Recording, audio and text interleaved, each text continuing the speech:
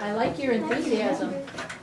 Um, yes, Hayden, that's, get out your grammar examiner so that you have some resources to look back on in case you are questioning anything on a resource.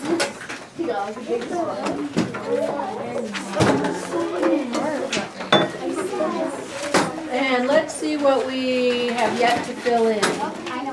So, anybody have any ideas about again? I'm looking it up right now. Adjective, Could be an adjective? And what would it be referring to? um, like it's referring to like you might we might speak with old grouch again. We might what again? Speak with old grouch again. So do you think it's attached to that word speak? Yeah. What kind of word is speak? Yeah. A verb. Oh, another adverb. Would So we use an adverb. adjective with a verb? No, we would use an adjective Adverb. with a noun. So we could use an ad, now, Sierra just looked it up, and you say eureka, it is an adverb. Okay. Yes, we can write it up because you came to that understanding with logic and reasoning, that's awesome. Way to do it. Now we're still looking for with, did you find it? Do you have any guesses about what it might be? Did you have a dictionary out to look it up? You know what with is? I found it in here, and when I saw it, I'm like, oh, duh, I should have known that. But What is can I say? Yes. Um, it's a preposition. It's a preposition. Does anybody disagree with any of the choices made? I, I'm looking up forward because I'm not really sure. Okay, you're wondering about forward, whether it's a preposition or not. Okay, good, I'm glad to see you're heading to the dictionary right away. Fritz, Forward's an adjective. forward is an adjective, is it, you found the same thing? Yeah. Okay. we have it. Is there a possibility it could be anything else? It could be an adverb. It doesn't say it's anything else. Oh, I It could be a noun. It could be a noun, it could be an adverb, it could be an adjective, so we need to look at how it's being used. Oh, noun, noun, right there, right there. Oh. We have three, great, so preposition is wrong, but we have to decide what it is. What does it have to do with in this sentence?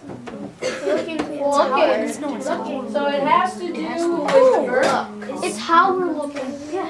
So what would it be then of those three? Noun, adverb, or Adverb. adjective? Adverb. Or adverb. Want to come up and put it up? That's how we're looking. Good, good questioning, good seeking. All right, and we have an adjective, and both of these adjectives are telling about which part of speech? The man. The man, they're talking about a noun, because that's what adjectives do. And then we have a conjunction. Anybody want to name the kind of conjunction we're looking at here? Kind of conjunction. Emery, do you know what kind?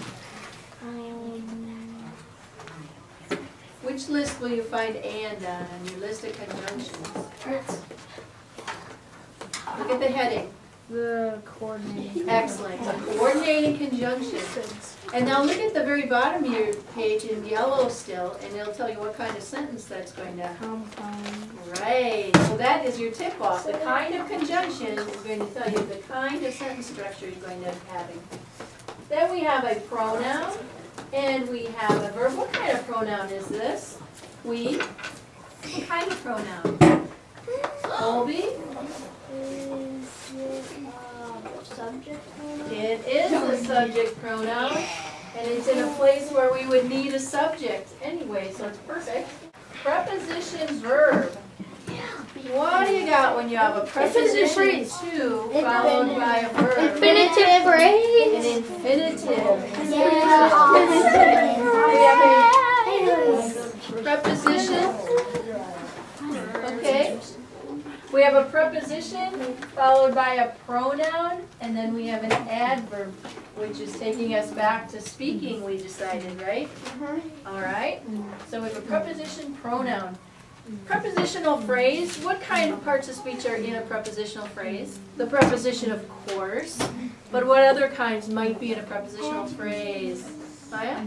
Um, it'll always like end with a pronoun or a noun. Great, always end with a pronoun or a noun, and it may or may not have some adjectives in there. So now we're looking for subjects and predicates.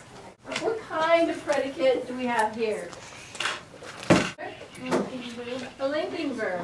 So if we have a linking verb, Here's our subject. If we have a linking verb, we're gonna be on the lookout for uh, Subject subject complement. Do we have one here?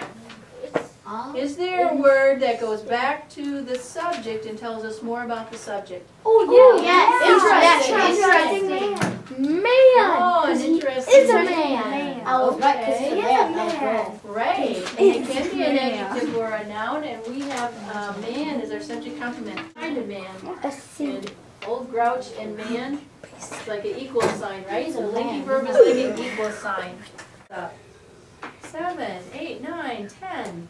What do you guys have your hands up oh, for? There's another Preposition, what do you think? It's not a prepositional phrase, it's an infinitive phrase. Excellent.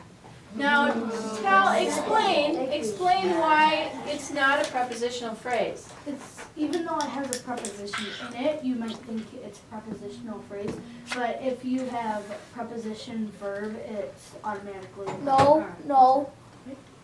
The preposition has to be to. Excellent. Putting it all together, you guys said it beautifully. While Mary is doing that, we're gonna start thinking about what kind of sentence it is. but there's one more phrase. We have another phrase. There, we love it. I told you, I know, I was, I, I was, um, remember. Side and. Oh, what is our other phrase? Prepositional, We do have a prepositional phrase. That's teamwork, I love it. So that if you just heard it, you would understand there was an exclamation point at the end. Fritz, how would you read it? Old Grouch is an interesting, man. We look forward to speaking here with again. Old Grouch is an interesting man, and we look forward to speaking with him again. Him again. So uh, we have an exclamatory sentence, and the last thing we're gonna look at is the sentence structure. Emery, What's compound ITCI because we have a coordinated conjunction? Because we have a coordinating conjunction. Causes? And Maya, would you circle the other one?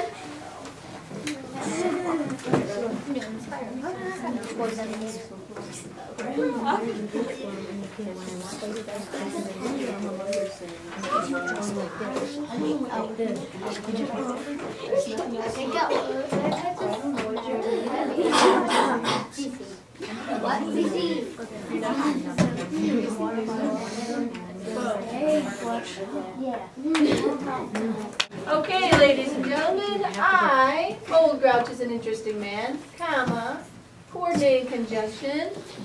I, we look forward to speaking with him again. Is it true that we could say this all by itself? To speaking with him again. We look forward to speaking with him again. But Old Grouch is an interesting man. Two independent, simple sentences put together to make a compound.